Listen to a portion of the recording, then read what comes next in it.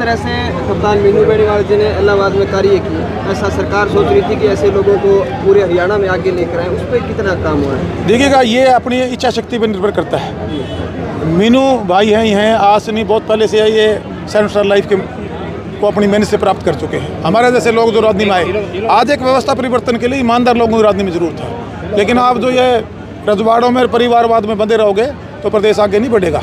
जो राजनीति का व्यवसायीकरण हुआ है उसको सेवा में बदलने की आज ज़रूरत है। प्रेरणा मिली और लोगों को। बिल्कुल मिलेगी। टुहाना से नहीं मिली। कहीं ना कहीं न कहीं यहाँ बढ़ने में टुहाना का भी सहयोग है। ऐसी और जगह भी मिली हुई है ऐसे ऐसे नौजवान आगे आ रहे हैं। ज़रूरत है इन लोगों की अपना सुख छोड़ के जनता के सुख के लिए भी चिंता करें। एक नर सेवा नारायण सेवा। अगर परमात्मा के मंदिर में जाके उसके चरणों में झुकने से ज़्यादा अगर आप किसी ज़रूरतमंद परिवार के किसी एक सब परिवार के भी काम आ जाते हैं तो समझ लीजिए कि आपको चारों धाम की यात्रा आपकी होगी। उस सोच के साथ हमें आगे बढ़ना होगा। है कप्तान मिनी बैंड आपके दोस्त हैं। 2024 में क्या चुनाव लड़ेंगे? वो फैसला इनका होगा और मैं तो कहूँगा इनको लड़ना चाहिए। ठीक।